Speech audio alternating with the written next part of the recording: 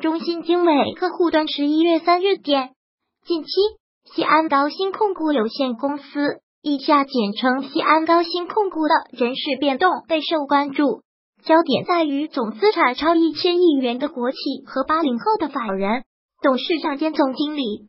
中信经纬客户端号 View 查阅天眼查显示，九月十三日，西安高新控股法人代表和部分高管变更。变更前，西安高新控股董事长、总经理、法定代表人为严令；变更后，董事长、总经理、法定代表人为李田。同时，新增赵雪莹、朱月为董事，池方、赵小玉、严玲退出董事名单。西安高新控股九月十四日在银行间市场发布公告称，本次董事长、总经理、法代表人部分董事变更工作。属于公司正常的人事变动，不会对公司正常的生产经营和偿债能力产生影响。据西安高新控股公布的简历，李田，女，汉族，一九八四年八月出生，大学本科学历，历任西安百事达人才服务有限责任公司员工，现任西安高新控股有限公司法定代表人、董事长兼总经理。赵雪玲，女，汉族。一九九三年出生，籍贯宁夏银川。二零一六年毕业于西安建筑科技大学华清学院。二零一六年八月至二零一八年三月就职于华夏银行银川分行，现任西安高新控股有限公司董事。朱月，女，汉族。一九九五年出生，籍贯陕西西安。二零一七年毕业于陕西师范大学，现任西安高新控股有限公司董事。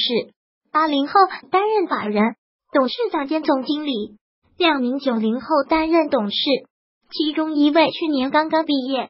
消息一出，网友质疑声音不断，甚至有网友直言“滑天下之大稽”，闻所未闻，吃相真难看。网友微博留言截图，部分网友讨论的焦点集中在国资方面。网友微博留言截图，公开资料显示。西安高新控股为一家成立于二零零三年十月十七日的国企，注册资本是一点三亿元。西安高新技术产业开发区管理委员会持股百分之七十，西安高新技术产业开发区科技投资服务中心持股百分之三十。主营业务为工业地产业务、物业管理收入、污水处理业务、基础设施建设业务等。财务数据方面。二零一八年上半年，西安高新控股实现营业收入七点零八亿元，净利润七千万元。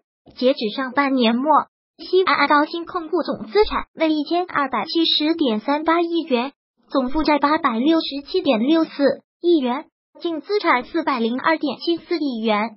还有部分网友讨论焦点集中在上述三人的能力方面。网友微博留言截图，公开资料显示。李天此前任职的西安百事达人才服务有限责任公司，为西安高新技术产业开发区管理委员会的下属国有企业，性质为人力资源中介服务机构。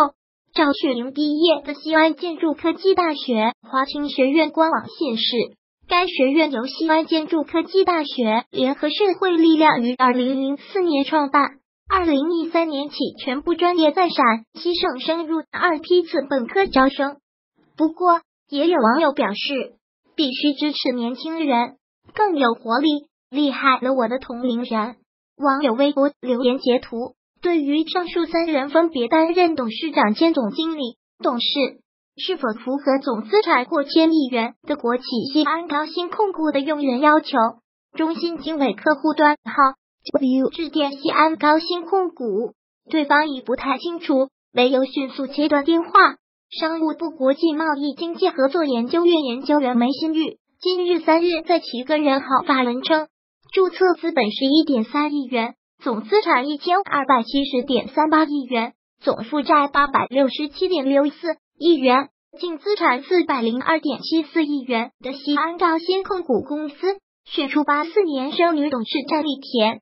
以及大学毕业分别刚一年、两年的九三年生董事赵雪莹、九五年生董事朱月，诸位女性，从年龄看，她们堪称当之无愧的那种。他们毕业院校，此前工作经历的机构声望如何？社会自有公论也从未听说这几位那总有何卓越业绩，证明他们的能力足以担当千亿级公司。而这家西安高新控股公司，并非家业父子父女相传的私营企业，而是百分之一百国企。梅新宇表示，这是任人唯贤、不拘一格降人才，还是量身定做的人事腐败案例？吃相如何？相信大家都你懂的。在如此巨大社会反响之下，相信有关部门肯定会出马调查，给社会一个说法。中心经纬 A P P。关注中心经纬，搜索中心经纬或 view 看更多精彩财经资讯。如果喜欢本视频，请分享并订阅本频道，别忘了按赞哦。